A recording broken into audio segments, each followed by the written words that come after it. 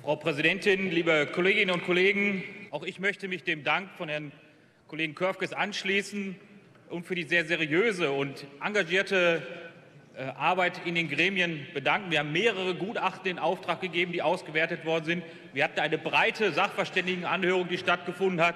Und die Argumente sind in der Tat ausgetauscht worden. Ich will nur auf einen Aspekt noch hinweisen. Wir machen diese Verfassungsänderung, da möchte ich ausdrücklich darauf hinweisen, es handelt sich um die Änderung der Verfassung und nicht um einfach gesetzliches Recht, was heute geändert wird weil wir der Auffassung sind, dass die Räte, Kreistage und sonstigen kommunalen Gremien handlungsfähig sein müssen. Und handlungsfähig heißt nicht nur, eine Sitzung beendet zu bekommen, sondern die Politik in den Gemeinden zu gestalten und nach vorne zu bringen.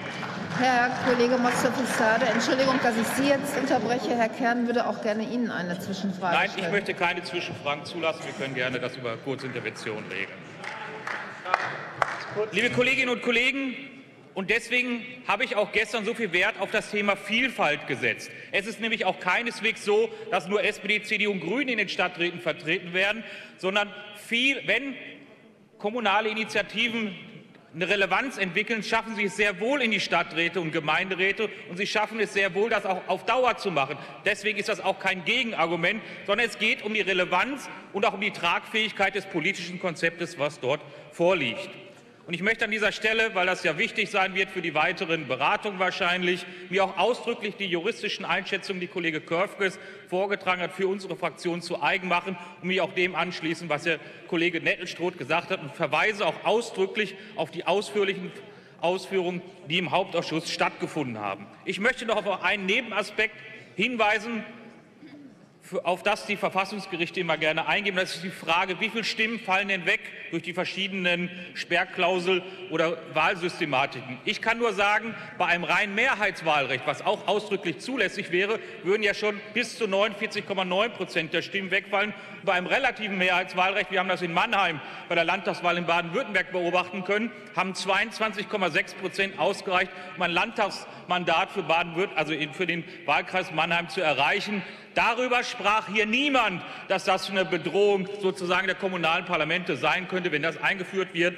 Und nach dem, was wir nachgerechnet haben, was die, was die Verfassungsrechtler und auch ähm, äh, Politikwissenschaftler vorgetragen haben, führt die faktische Sperrklausel, wie wir sie hier in Nordrhein-Westfalen kennen, dazu, Kollege Nelstruth hat es eben schon gesagt, dass in den allermeisten Gremien, die überhaupt nicht zur Anwendung kommt, die Sperrklausel und dass maximal im einstelligen Bereich in den größten Stadträten des Landes unter vier Prozent der Stimmen weggefallen wären. Das Hamburger Verfassungsgericht hat ausgeführt, dass bis zu 5,5 Prozent, das war damals eine Entscheidung, die sich auf den konkreten Fall bezog, völlig zu akzeptieren werden. Ich werbe heute dafür, stimmen Sie dieser sehr moderaten, ich habe es eben ausgeführt, sehr moderaten Sperrklausel von 2,5 Prozent zu. Es hat eine massive Zuspitzung bei der Frage der Zersplitterung seit 1999 gegeben.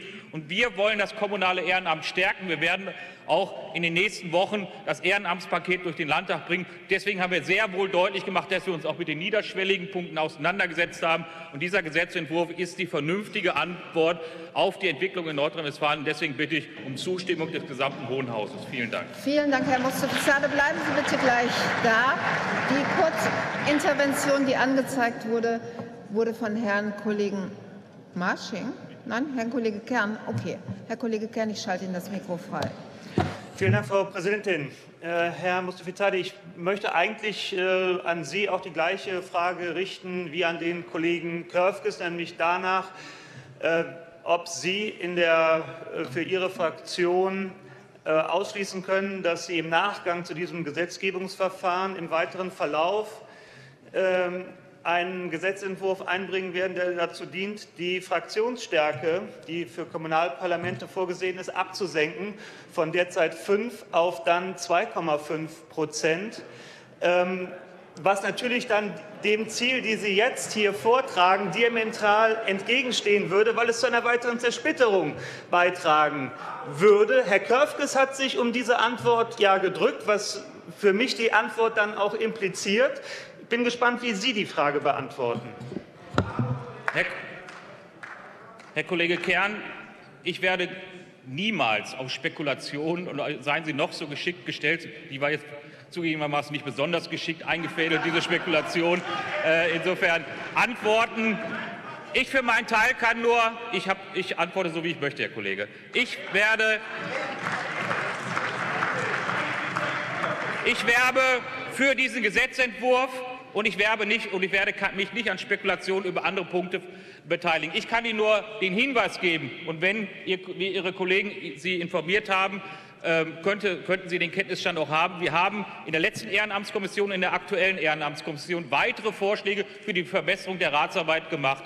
Ich kann Ihnen nur sagen, ich bin allerdings kein Freund davon, zwei Klassensysteme oder mehr Klassensysteme in den Kommunalparlamenten einzuführen, sozusagen erst die Menschen reinlassen und ihnen dann keine Antragsrechte zukommen zu lassen, die Redezeiten zu beschränken und nicht an Haushaltsberatungen zu beteiligen. Deswegen, deswegen bin ich der Auffassung, dass diese moderate Sperrklausel, diese Unwuchten, die ich sehe und die meine Fraktion in dem jetzigen System sieht, genau die richtige Antwort ist und ich beteilige mich nicht an weiteren Spekulationen.